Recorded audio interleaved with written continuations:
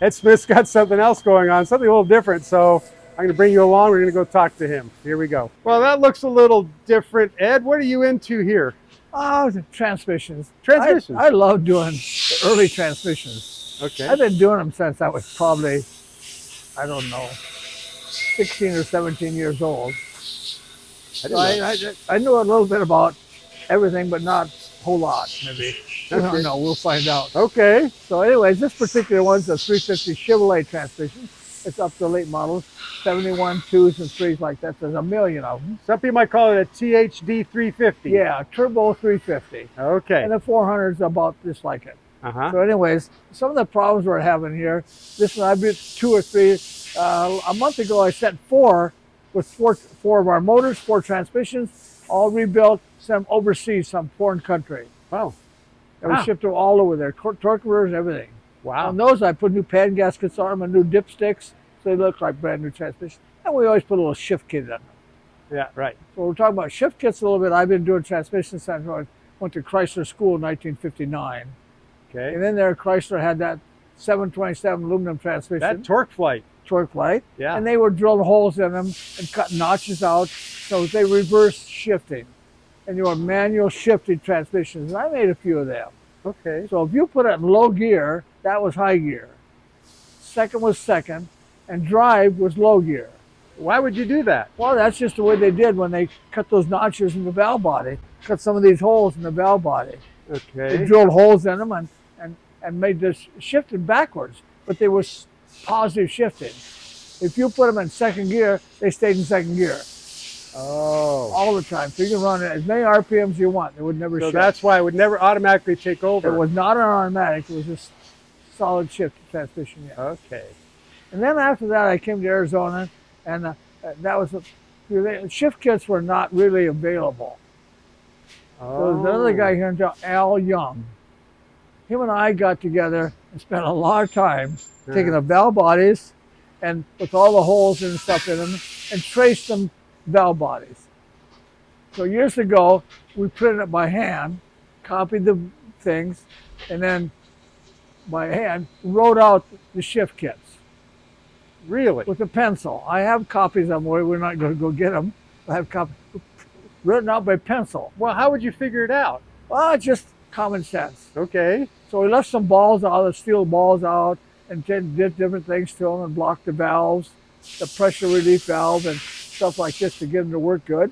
And sometimes you get you drill a hole, and the oil happens to go to a to a clutch, and you got a lot of oil, and it shifts real good. You got to get that oil out of that clutch too when it shows in the next gear.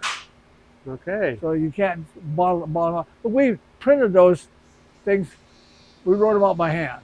Okay. Then the next section, we had somebody type them out with a typewriter Now you're getting fancy. and copy copy those. So I still have some of those. Okay. That's the early C4s, C6s, Turbo 400s, and, and Yeah. actually just like the Turbo 400 transmission, when they first made it, uh, that was the worst transmission Chevrolet ever made. Really? Yes, they had more comebacks per transmission they sold than any other transmission until the race car guy got it. Well, what were they doing wrong? Uh, just the, the, the engineering of it, it was good for them. Okay. But as soon as we got it, the hot rod people, we started drilling holes in it and made it the best transmission. it really did. And this, this governor springs, you change the governor springs so they don't swing out so much, and that's something else. But this particular one, we'll get back to today's.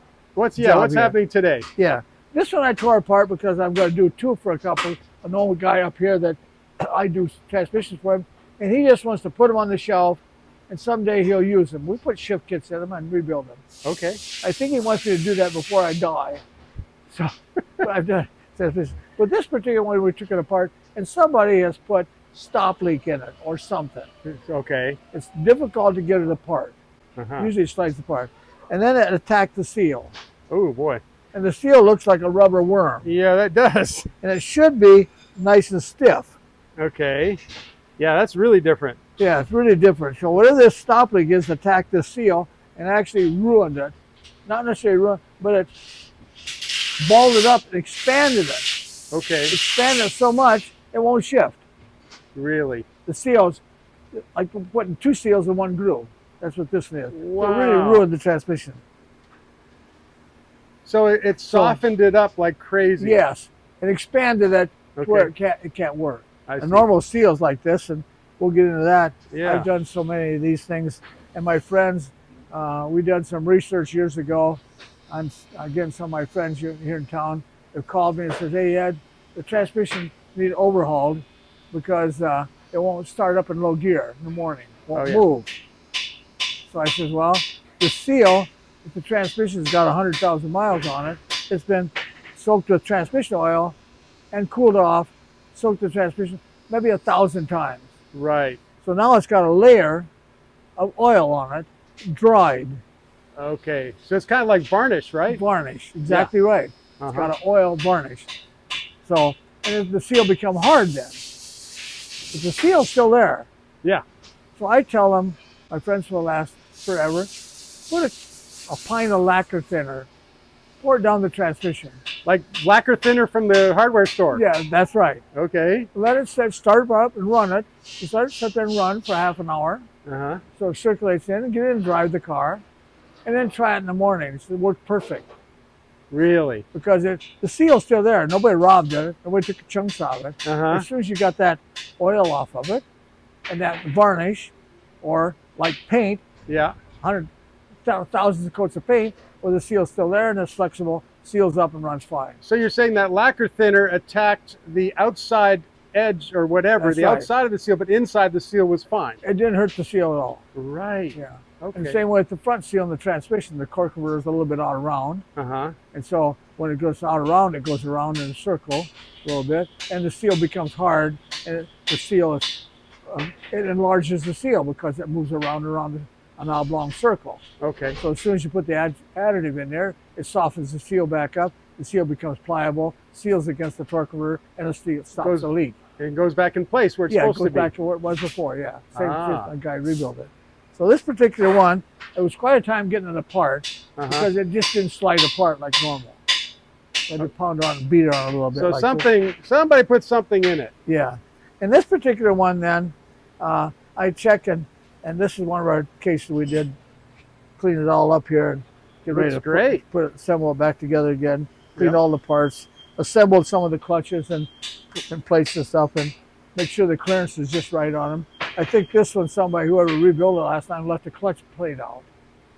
So it had about a quarter inch of clutch slop in the clutch plate. And they usually have, should have maybe 40 or 50 thousandths Okay. clutch slop. So it took that piston longer to apply. Right. So we can see that whoever did it didn't do a very good job of rebuilding. So there's normally like what eight or nine clutches in it, or Oh, something? four. or four. Okay. Four, yeah, four is normal, three sometimes. Okay. And then uh, in this particular one, I just we always save the old gasket Uh huh. like that we that we get out of the transmission because that's what it was in it before and it looks good. Yeah. And then I this guy that had this bought a kit repair kit for it, master kit.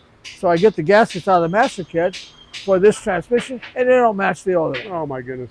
And I never seen gaskets like this one before in my whole life. The holes don't match up, and every time you do something like this, you have to look up and, Yeah. Make and actually sure, right? make sure all the holes line up.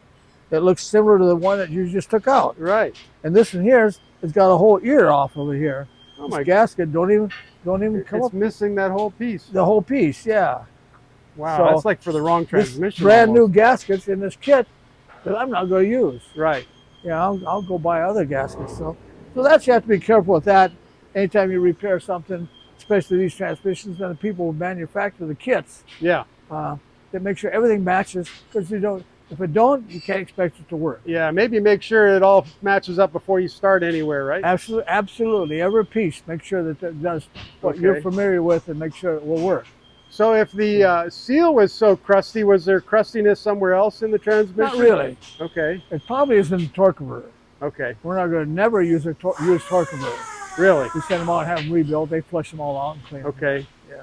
It's not worth the trouble using an old one. An old torque yeah, yeah, that's right. Okay. Yeah, that's I see. Yeah. So what's happening, Ed? What are you doing? We're just uh, putting a little air in these holes. This is where the all the transmission goes, all the oil goes in different places. And somebody asked me the other day, how come you have all these holes in here? Because sometimes these channels do the same thing. They have a ball check Okay. There's steel ball that stops it when it goes into second gear. And then the ball goes back the other way going into high gear. So there's oil presses. So we put air air in some of these to make sure they work Okay. And make sure that they work before you put the transmission together. Okay. Yeah, you don't want to start stacking parts on there if it's not working. Yeah, that's right. So all you can all these you can air check. Okay. With Some of these holes here with the air gun, Uh-huh. you just press them and find out exactly if it leaks or not. You need to do that before you put it together. Yeah. Makes sense. So that's one of the things we did. See, there. you say it's common sense as soon as you explain it, but before you explain it, nobody knows. Yeah. That's So good. here, um, there's a cushion here. Okay. It's a little servo that goes in here, Yeah. and that's high gear. Oh. So let's say the, the oil goes down a channel and goes over this thing to this chamber with spring loaded. So as the grandma shifts it, the oil goes over in this spring, has to tighten this spring up and kind of cushion like a pillow. Oh. It makes it shift nice. Nice and soft. Yeah, nice and soft. So we take that spring out and throw the spring away.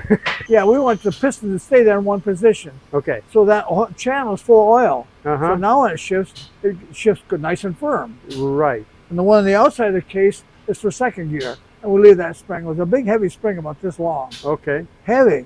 So Huh. we'll leave that out. And I, you know, I usually do cut a piece of shouldn't electric conduit pipe, two and a quarter inches long, and we put that in that hole instead of the spring. So the valve don't go back and forth. It It stays in holds it in. Yeah. place. Another little uh, transmission trick by yeah. Ed Smith. And you can do all kinds of things with leaving the springs out and and make it shift and whatever else. Yeah. yeah. Okay. Or- yeah. Excellent. Kind of interesting. It's yeah. very interesting. Yeah. Love it. So- Cool. Well, thanks for showing us, Okay, Ed. yeah. That is awesome. Okay, good. Have a great day. Thanks. Thanks again for watching, subscribing, making comments. If you have questions for Ed related to this video we just did on automatic transmissions, go ahead and write your comments in. I'm sure we will work them into an upcoming episode of Ask Ed. So thanks for joining us, and we'll see you soon.